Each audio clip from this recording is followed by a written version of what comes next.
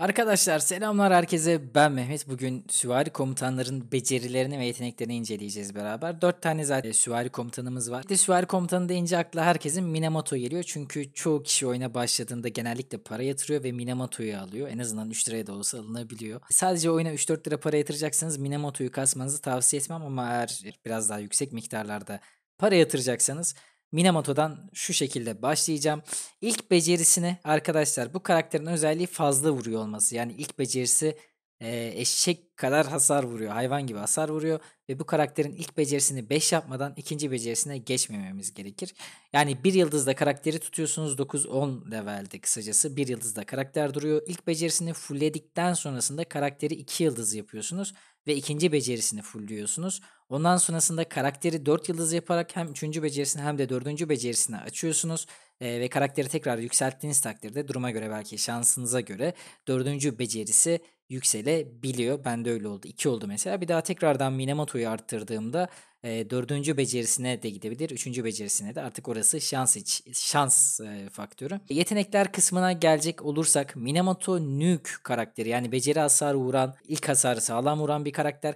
Ben bu şekilde verdim ama Minamoto'nun aslına bakarsanız becerilerinin çok bir önemi yok. Genellikle ikinci komutan olarak kullanmanızı tavsiye ederim. Karakterin yetenekleri ikinci komutanın yetenekleri herhangi bir şekilde etkilemiyor sizin ordunuzu yani çöp bir nevi bu yeteneklerin hiçbir önemi yok Minamoto'da ikinci komutan yapacağımız için.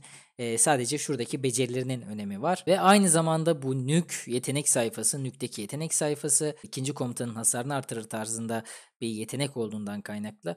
Birinci komutan olarak Pelagius'u kasmanızı öneririm. Eğer Minamoto'yu kullanacaksanız birinci komutan olarak Pelagius'u kasabilirsiniz. Ee, ve ilk önce beceri kısmını burada fullleyebilirsiniz. Pelagius'u birinci komutan yapıyoruz. Arkasına Minamoto'yu koyuyoruz. İlk önce beceriyi kasacağız. Ee, beceri noktasında arkadaşlar ilk önce ben şu taraftan gitmeyi tercih ettim.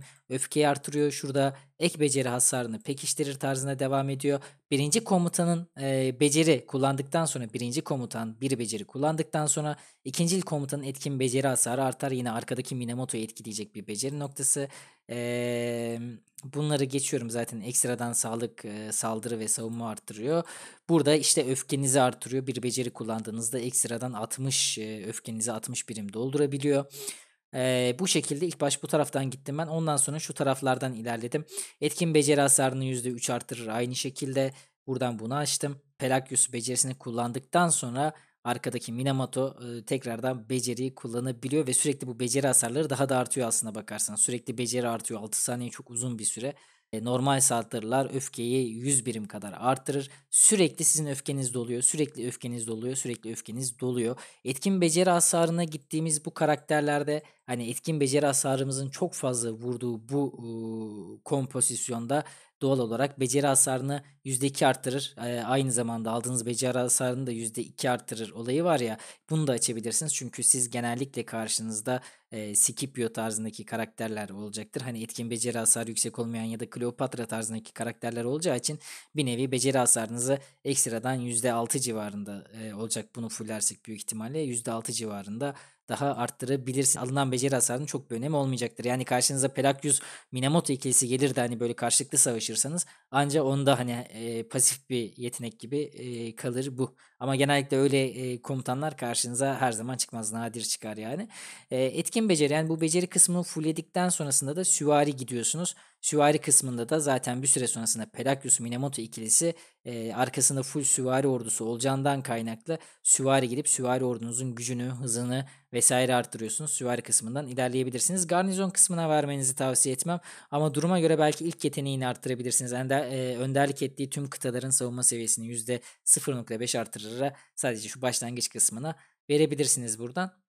İkinci olarak Minamoto yok diyelim ki yine bir süvari ordusu oluşturacaksınız. Farklı noktada Lancelot'u tabii ki geliştirebilirsiniz. Lancelot da birazcık daha e, hasardan ziyade hareket hızına dayalı bir komutan. Yani e, siz dışarıda milletin tarlalarını keserken o tarladan o tarlaya, o tarladan o tarlaya koştururken burada Lancelot'la e, daha hızlı bir şekilde bunu yapabilirsiniz. Özellikle düşman öldürme etkinliklerinde vesaire işinize yarayacaktır. Ee, daha kısa sürede daha çok adam kesmenize yarayacak kısacası. Ben burada şu e, telaşlı ayrılışı açtım. Ee, burada da tüm kıtaların ilerleme hızını arttırır. Bunları açtım. Devamında da Lancelot da aynı şekilde süvari gitmeye çalıştım. Şurada bir tane daha yürüme hızı var. Eee, tüm birimlerin ilerleme hızını %3 arttırır. Şunu da açabilirsiniz hareketlilik kısmında. Eee, tabii bunların hepsini açmayı eee, gönüllümüz hepsini açmak ister. O ayrı bir şey. Ama eee, önderlik ettiği kıtalar mesela örnek olarak bunlar daha çok sizin kaçarken hani diyelim ki adamlarla savaşıyorsunuz. O sırada siz kaçarken ya da adamları kovalarken kullandığınız eee, yetenekler bunların çok fazla ondan kaynaklı önemi olduğunu düşünmüyorum. Eee, bu noktada hani rakip eee, kıtalarla çarpışırken kullanılan yetenekler. Daha çok kaçarken ya da adamı kovalarken sizi hızlandıran yetenekler. Zaten şu yetenek kısmında, şu hareketlilik kısmında eee, hareket hızlarını ya da kıtadan eee, belli bir eee, yapıdan ayrıldığında ekstradan ilerleme hızı katıyor ve şuradaki yürüme hızlarını açtığınızda ve sadece süvarilerden oluşan bir bölük kullandığımız takdirde eee bayağı bir yüksek oranda yürüme hızımız artacaktır. Aynı zamanda sarı komutanların levelini artırmak çok zor, yıldız bulmak çok zor. Bundan kaynaklı eee Pelagius'un artması daha çok işinize. Pelagius artırmak sizin için daha kolay olacaktır. Eee, hem heykellerini daha rahat bulabileceksiniz hem de s- mor yıldızları daha rahat bulabileceksiniz ve XP olarak birazcık daha az XP istiyor. Eee, Pelagius kardeşimiz diğer eee, sarı çağ çağı ve Minamoto'ya göre daha az XP istiyor yükseltmek bakımından. Yani şöyle söyleyeyim size Pelagius'u 60 yapmanız kolayken daha kolayken eee Minamoto'yu 60 yapmanız neredeyse imkansız bir şey. Şimdilik süvari komutanlarından çok fazla söyleyeceğim bir şey yok. Açıklama kısmında belirtmek istediğiniz bir şey varsa belirtebilirsiniz. Hani sizin kullandığınız süvarilerde kullandığınız kompozisyonlar nasıl bir şey? Lancelot birinci, Minamoto ikinci mi kullanıyorsunuz? E, ya da daha farklı şöyle yapsak daha iyi olur diyeceğiniz herhangi bir şey var mı? Bunları yorumlar kısmında belirtebilirsiniz. Eğer süvari hayranıysanız mutlaka komutan başlangıç olarak hani diyelim ki oyuna yeni başladınız. E, ırkınızı, medeniyetinizi İspanya seçin. Daha sonrasında duruma göre çünkü Pelagius komutan, e, komutan olarak Pelagius gelmeye başlayacak elinize. İspanya açarsanız ve e, bu beceri kısmını fullleyebilirsiniz rahat ve hızlı bir şekilde Pelagius'ta.